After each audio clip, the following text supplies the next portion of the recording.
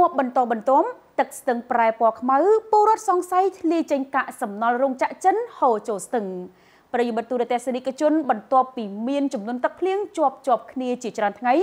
ស្រាប់តែទឹកស្ទឹងសកែប្រែជាពណ៌ខ្មៅហើយពលត្រីនៅក្នុងស្ទឹងងាប់ប្រងព្រាតផងនោះប្រជាពលរដ្ឋរស់នៅតាមបណ្ដោយដងស្ទឹងបានលើកឡើងថា ប្រភពទឹកខ្មៅអាចធ្លាយហូរចេញពីរោងចក្រចិនមួយកន្លែងស្ថិតនៅខាងក្រោមទំនប់ពហុបំណងក្នុងស្រុករតនមណ្ឌលខេត្តបាត់ដំបងខណៈអាជ្ញាធរមូលដ្ឋានអះអាងថាកំពុងរកប្រភព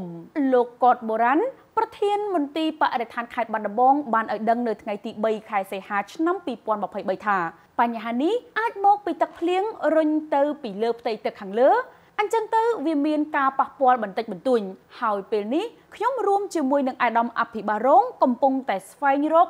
តែរកមិនទាន់ឃើញយ៉ាងណាមិញបើតាមប្រជាពលរដ្ឋមួយចំនួននៅស្រុករតនមណ្ឌលបានអះអាងថា ករណីទឹកពណ៌ខ្មៅកខ្វក់ហូរចូលស្ទឹងសង្កែនេះកើតមានឡើងស្ទើររាល់ឆ្នាំ ដែលទំនងជាអាចធ្លាយចេញពីអាងស្តុកទឹកកខ្វក់ក្នុងរោងចក្រក្រុមហ៊ុនចិនមួយកន្លែង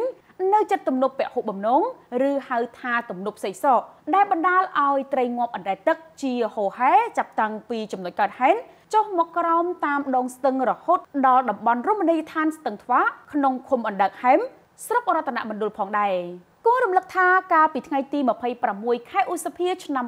2021កន្លងទៅក៏ធ្លាប់មានករណីទឹកខ្មៅធ្លាយហូរចូលស្ទឹងសង្កែបណ្ដាលឲ្យត្រីពលងាប់ដោយករណីនេះដែរ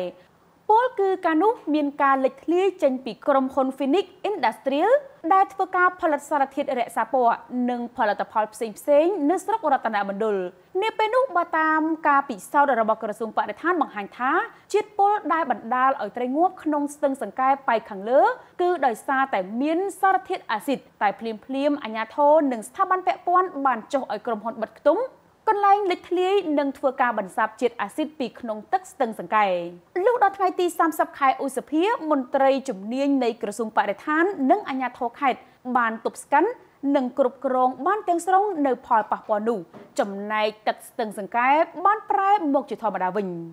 ដល់ឡែកចំពោះករណីខាងលើនេះមហាជនកំពុងរងចាំមើលថាតើការស្រាវជ្រាវរបស់មន្ត្រីជំនាញអាចរកឃើញប្រភពទឹកពណ៌ខ្មៅនេះដែរឬទេប្រិមត្តទូរទស្សនិកជនព្រោះបើមិនដូច្នោះទេវាអាចនឹងបង្កផលប៉ះពាល់ដល់សុខភាពយ៉ាងធ្ងន់ធ្ងរសម្រាប់ប្រជាពលរដ្ឋអាស្រ័យលើទឹកស្ទឹងនេះ ព្រោះបើរកមិនឃើញនឹងគ្មានវិធានការទប់ស្កាត់ទេហើយរឿងនេះក៏មិនមែនជាលើកទី1ដែរដែលទឹកខ្មៅកខ្វក់មានជាតិពុលហូរចូលស្ទឹងសង្កែនៅក្នុងខេត្តបាត់ដំបងនោះ